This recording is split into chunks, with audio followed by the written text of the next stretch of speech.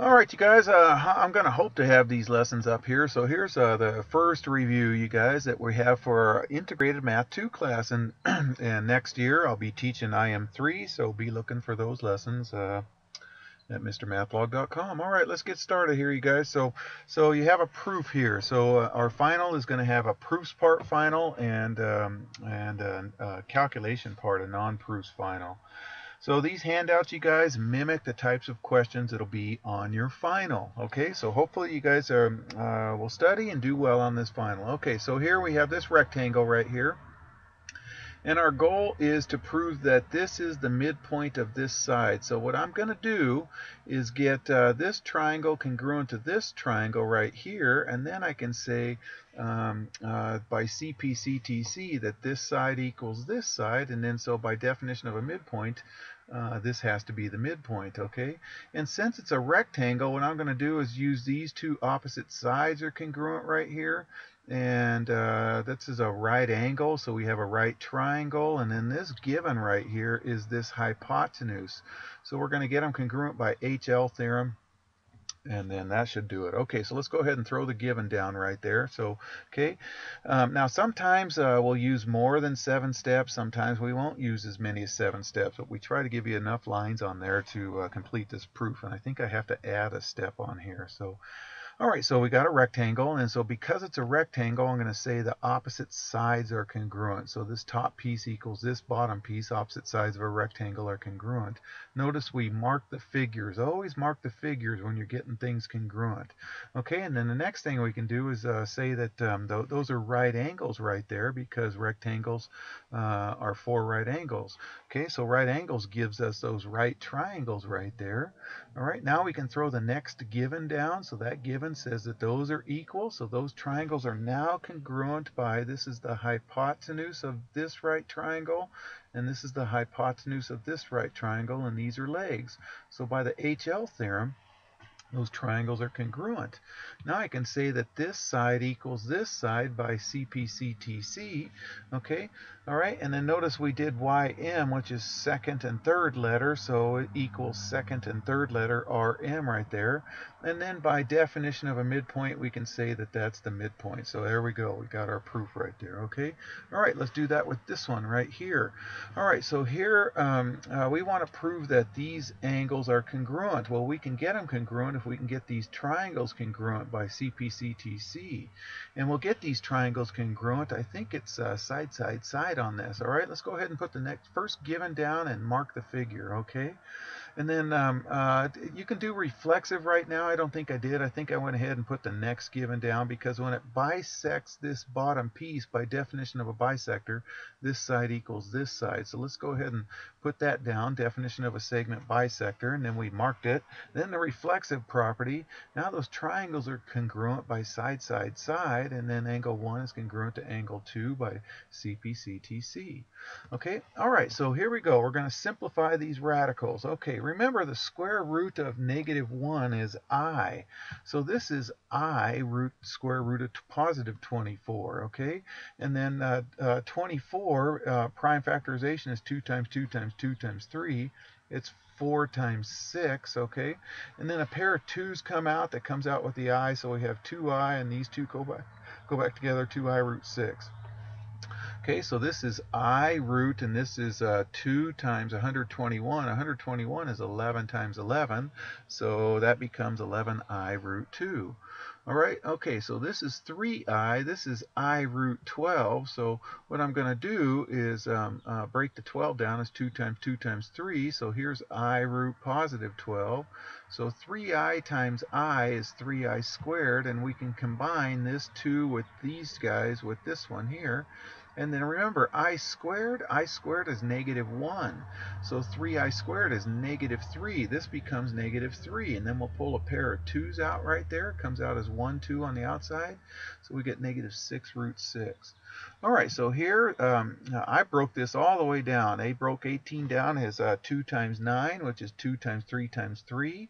There's 4 x's and there's 7 y's. There it is right there. And then I pulled out. Uh, I'm going to get a, a, pair of 3's out, a pair of x's, a pair of x's, a pair of y's, a pair of y's, a pair of y's, we're left with a 2 and 1 left over y on there, okay? So uh, we finally get uh, 3x squared y cubed and, and then root 2y. All right, so here I'm going to FOIL this stuff out. So first times first is 28. Okay, outer times outer is 35y. Inner times inner is negative 12i, did I say yi? And then negative 3i times uh, 5i is negative 15i squared. Okay, remember i squared is negative 1, so negative 15i squared becomes plus 15, okay? And then we combined these like terms right here. 35i minus 12i is 23i. All right, and this 28 plus 15 now becomes, what's that, 43? So 43 plus 23i. Okay, on this one, we got to um, simplify the square root of 48, and we got to get rid of the i downstairs. You can't have an i downstairs, so let's do that right off the bat. Multiply it by 1, but 1 is i over i. So we get i root 48 over 3i squared. Okay, now remember, i squared is negative 1, so this is negative 3. Never uh, leave the negative downstairs. Always float it out in front of the fraction right there. Excuse me. All right, so uh, 48 is 16 times 3, or you can think of 48 as 2 times 2 times 2 times 2, 4 of them times 3. Anyways, you, are going to end up getting uh, 4i root 3 all over 3. Okay, notice how this negative floats out in front of the fraction right there. All right, all right, so let's solve. Okay, notice how this one does not have an x in it. This one has a negative 2x, this one has a 3x in it. So when it doesn't have an x, we like to solve for x squared. So when we do that, we subtracted 14 from both sides, then divide by by 3, okay, then we square root it. Don't forget the plus or minus part, you guys. It's plus or minus the square root of 2. And then it's going to be, pull the i out, is plus or minus i root 2. Okay, okay, on this one, on quadratics, almost always we want it to equal 0, except for this one. I'll show you in just a second. But let's set it equal to 0. So if we sub, um, uh, subtract 3 from both sides, we get 9 here. So let's do that first, okay? Now the reason why we want it to equal 0 is to see if we can factor it.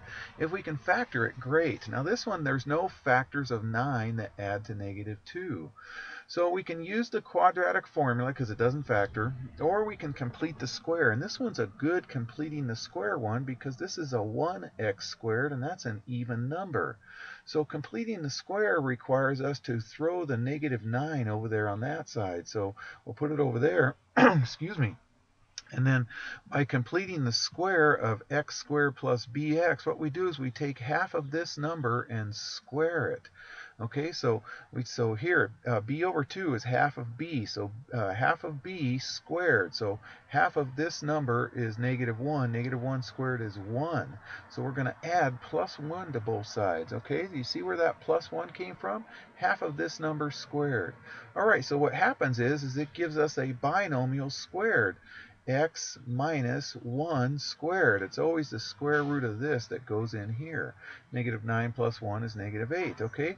Now we square root both sides. Don't forget the plus or minus, okay? And then negative 8 uh, becomes i. Don't forget the i comes out. And 8 is 4 times 2, so we get 2i root 2 plus or minus. Add 1 to both sides, and there's our answer. Okay, so here, this one has a 3x, so I'm going to subtract 3x and add 1 to both sides, see if we can factor that. Okay, this one does factor. This one's pretty easy. When it ends it's 1 times 1, and this is 2x uh, squared, so we get uh, 2x uh, here and 1x here, and this is 1 and 1. Since that's negative and that's positive, these both have to be a negative, a negative times a negative. And then just mentally check, does outer which is um, outer times outer is negative 2x plus inner times inner is negative 1x. That adds to negative 3x. So it does factor, so we can set these factors equal to 0. Here we go plus 1 plus 1, and we get 2x equals 1, or x equals 1 half, and then this one plus 1 plus 1, we get x equals 1. Okay? All right, so here we have a circle. So let's graph the circle write an equation. So the equation is x minus h squared plus y minus k squared equals the radius squared. Okay, so here we go. x minus a minus 2 squared plus y minus 1 squared equals 4 squared. Clean it up, we get that. All right, let's go ahead and graph negative 2, 1 and do the radius of 4. So we'll go to the left 2, up 1, and we'll do our boundaries. So we go up 4, down 4, to the left 4, to the right 4. Okay, and those are our boundaries right there. Two, three, four. Okay, 1, 2, yeah, I got four. Sorry, I'm counting.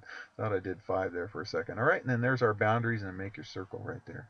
All right, so here's another one here. So, so we need to get the radius of this. So we know it's this right there. So to get the radius, plug in this x for this x, and plug in this y for this y, and that'll get us our radius right there.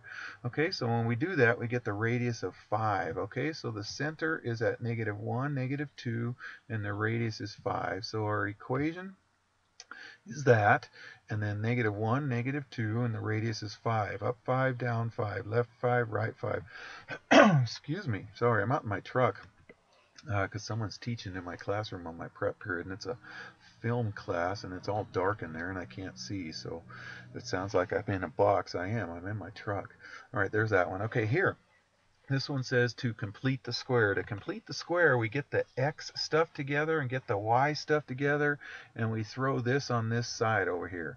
All right, so what's half of 4 squared? Half of 4 is 2. 2 squared is 4, so we'll add 4 here, so we'll balance it out and add 4 over here. Half of 2 is 1. 1 squared is 1, so we'll add 1 here, but to balance it out, we got to add 1 over there.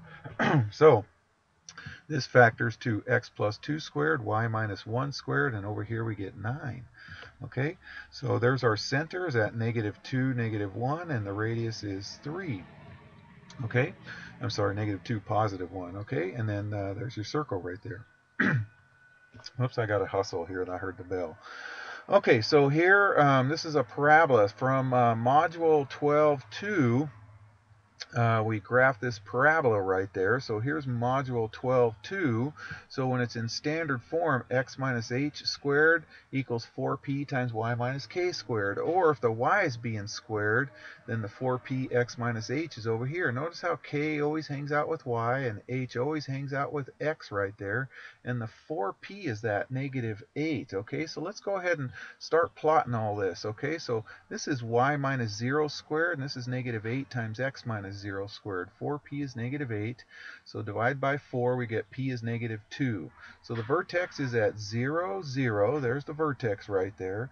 And p is the distance from the vertex to the focus. So 2 that way, and then your directrix is 2 that way. Remember, remember you guys that the the um, the vertex always is in the middle and the vertex always surrounds the focus okay? So I know it's going to the left okay when it surrounds the focus okay?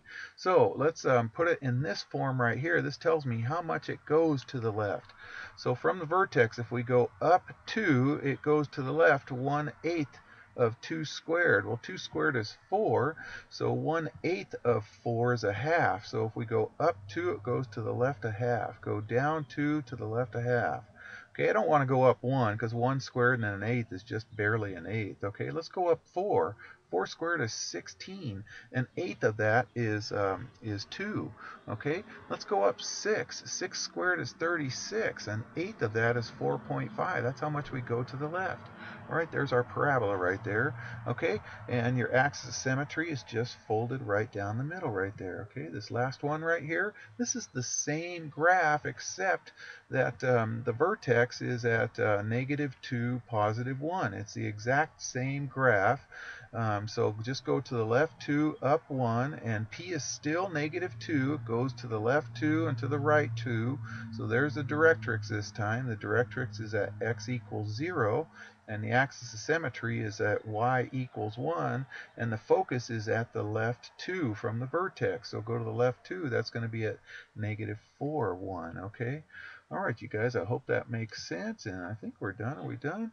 Yeah, oops, yeah, I'm just graphing that and moving around. All right, take care, you guys.